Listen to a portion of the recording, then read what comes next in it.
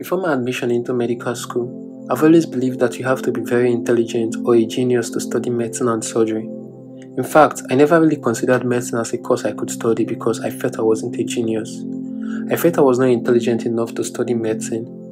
All I knew then was that I enjoyed biology as a science student and would love to study something closely related to it.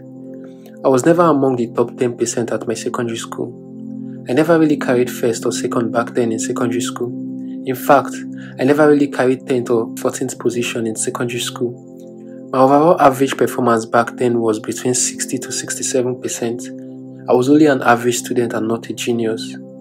I still remember the day I checked my first JAMB result like it was yesterday.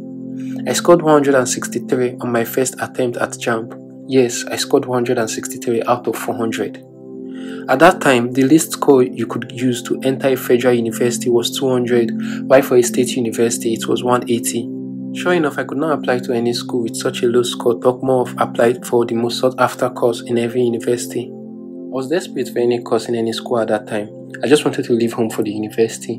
News of my friends and classmates getting admitted at that time didn't even make it any easier. I just wanted to leave home for the university to study any course at all. Hello there, this is Medzone TV, home to medical school excellence. Today I will be telling you about how I got admitted into medical school after several attempts. Please sit back, relax, and listen. After a failed attempt at JAMB, I somehow managed to convince my parents and siblings to allow me to register for the pre-degree program also known as Basics in the university. Luckily for me, they agreed and that was how my journey in the university started. I applied to study nursing science during the pre-degree program.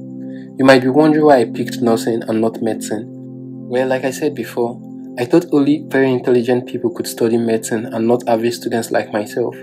I started the pre-degree program and seven months later, I wrote the final exam that would get me officially admitted into the school. After the exam, days later, the results as well as the admission list was released and I didn't get admitted into nursing. Meanwhile, during the course of the program, I sat for another JAMB and the outcome of the exam was not nice. In fact, the outcome of the exam was terrible. So after weeks and weeks of waiting for more admission lists to be released, luckily for me, I got admitted to study human physiology. Yes, I got admitted at last. You needed to see the excitement on my face when I saw my name on the admission list. I still remember this day as though it was yesterday. That particular day was one of the happiest days of my life. Moving on, I resumed school as a physiology student. I started attending classes and started to make new friends. 100 level was kind of fun for me, I would be honest, I really enjoyed it.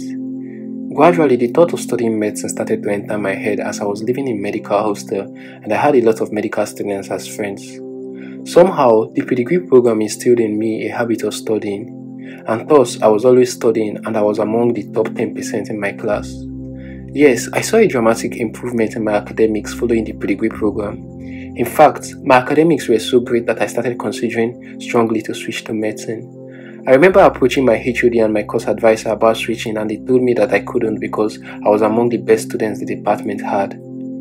After we moved to 211 and began receiving lectures in anatomy, physiology and biochemistry, my interest in medicine became even stronger I wrote another JAMB in 200 level and 300 level physiology so I could switch to medicine, but all my attempts were not successful.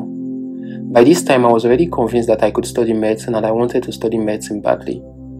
In fact, I nearly missed the semester course examination, specifically histology exam, because the day of the exam clashed with the day I was writing JAMB. Luckily for me, I was able to finish the JAMB exam early enough and I rushed back to the examination hall. I remember meeting the histology exam 15 minutes to the end of the exam. That year, I scored 222 in the JAMB and I scored 51 in the histology exam. Unfortunately, I still couldn't secure admission with the JAMB result that particular year. After trying to get medicine for 5 years after secondary school, I finally got admitted to study medicine and surgery after graduating from physiology via direct entry. Years after 5 long years. Years after 5 long years. During this time, I gained more confidence in myself I learned leadership and communication skills. I learned to appreciate the function of the human body, and most importantly, I came to understand that medicine is not meant for only the most intelligent people. Anybody, whether average or above average, with pure determination and willingness to learn can study medicine. For example, I was never among the high flyers in my school, yet I was able to get admitted to study medicine, and I never failed at, repeated, or worse. So if you're watching this video and you have plans to study medicine, nursing, pharmacy, radiography, physiotherapy, dentistry, or any other medical course of your choosing, hear me today. You can do it. Yes, you can do it. These courses are not reserved for geniuses or very intelligent people only. If I could do it, then you can do it too. Just believe in yourself and be consistent in working towards achieving your goals.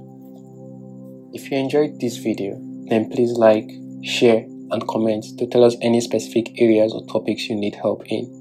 Also, if you have not subscribed to our YouTube channel yet, please hit the subscribe button now.